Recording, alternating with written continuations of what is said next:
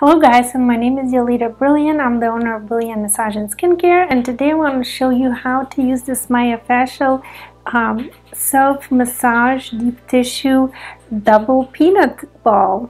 Hope you enjoy it.